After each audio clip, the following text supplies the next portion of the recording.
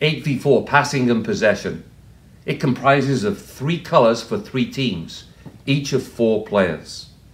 The object of the drill is to score goals from transition.